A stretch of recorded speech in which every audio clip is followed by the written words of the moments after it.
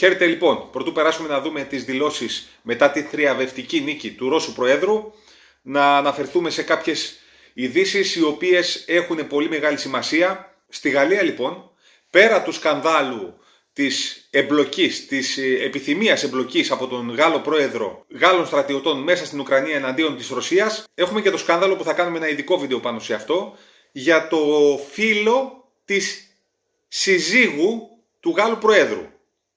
Αξίζει να το δείτε.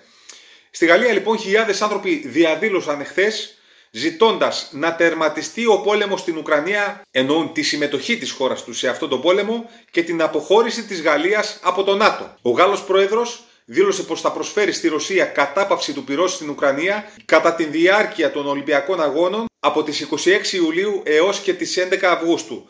Θα δούμε αν θα γίνουν οι Ολυμπιακοί Αγώνες. Έχουμε καιρό μέχρι τότε. Σχετικά με αυτές τις δηλώσεις του Γάλλου Προέδρου, η υπεύθυνη τύπου του Υπουργείου Εξωτερικών της Ρωσίας απάντησε στον Γάλλο Πρόεδρο πως εάν θέλεις εκεχηρία, σταμάτα απλά να στέλνεις όπλα στην Ουκρανία. Επίσης τόνισε η ίδια πως δεν είδαμε να ζητά εκεχηρία στη Μέση Ανατολή ο Γάλλος Πρόεδρος. Σε άλλες ειδήσεις, η Τουρκία θα ξεκινήσει στρατιωτική εκστρατεία στο Ιράκ για να εξασφαλίσει οδικό σιδηροδρομικό έργο προς τον κόλπο. Τουρκικά στρατεύματα πρόκειται να εξαπολύσουν νέες επιθέσεις κατά των κουρδικών δυνάμεων στα δυτικά τμήματα της περιοχής του Ιράκ. Κάτι το οποίο βέβαια το βλέπουμε να συμβαίνει εδώ και πολλά χρόνια. Αυτή τη φορά όμως θέλουν να ξεκινήσουν μια κανονική, μαζική, στρατιωτική επιχείρηση, ένα πόλεμο δηλαδή στην περιοχή. Να ξέρετε ότι αυτές οι κινήσεις των Τούρκων έχουν περισσότερο την έννοια της προετοιμασίας για το μεγάλο πόλεμο που θέλουν να ξεκινήσουν.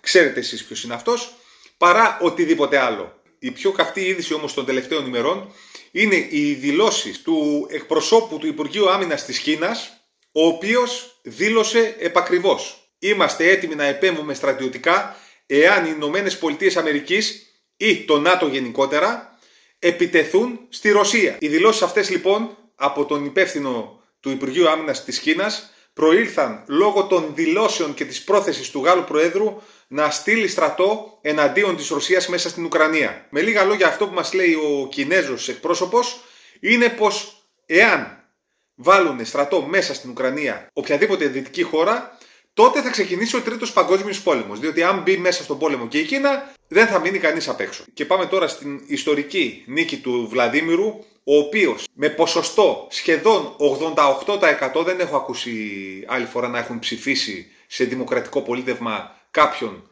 τόσο μαζικά και μάλιστα μαζική ήταν και η συμμετοχή του κόσμου στις εκλογές. Δεν ήταν μόνο ότι πήρε ένα πολύ μεγάλο ποσοστό. Εάν λοιπόν ένας άνθρωπος ο οποίος εκλέγεται πρόεδρος παίρνει ένα τόσο μεγάλο ποσοστό και τον χαρακτηρίζουν χώρες ως δικτάτορ, π.χ. για παράδειγμα η Γερμανία δεν αναγνωρίζει επισήμως αυτό που σας λέω, δεν αναγνωρίζει την νομιμότητα των αποτελεσμάτων των εκλογών στη Ρωσική Ομοσπονδία. Αυτή η ανακοίνωση είναι από την κυβέρνηση της Γερμανίας. Ακριβώς τα ίδια έχουμε και από τις Ηνωμένες Πολιτείες Αμερικής οι οποίοι πριν καν τις εκλογές δήλωσαν πως δεν σκοπεύουν να αναγνωρίσουν τα αποτελέσματα της ψηφοφορίας στις νέες ρωσικές περιοχές.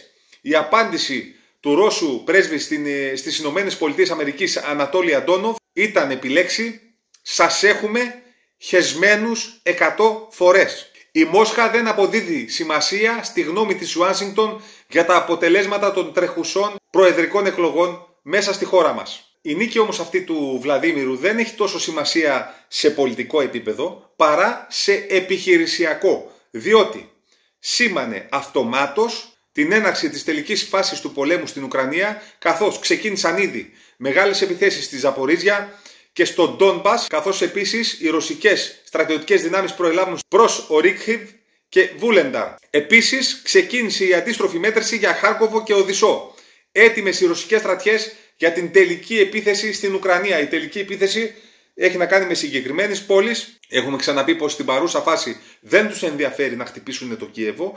Το μόνο που τους νοιάζει είναι να κλείσουν, να αποκλείσουν από θαλάσσει ό,τι θα έχει απομείνει από την Ουκρανία. Και εδώ θέλω να ρωτήσω τη δική σας άποψη στα σχόλια στο κατά πόσο είναι δικτατορικό το πολίτευμα της Ρωσίας, στο κατά πόσο πιστεύετε ότι το αποτέλεσμα των εκλογών είναι ένα ψευδές, επίπλαστο και νοθευμένο αποτέλεσμα και επίσης αυτοί οι οποίοι τον κατακρίνουν. Π.χ.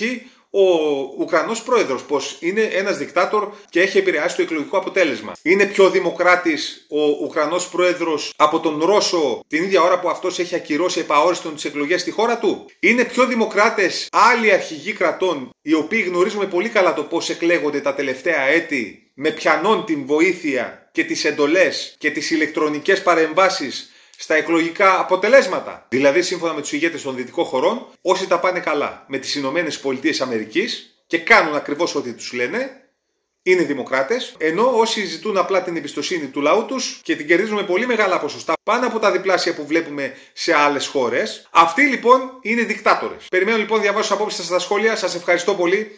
Καλή δύναμη σε όλους.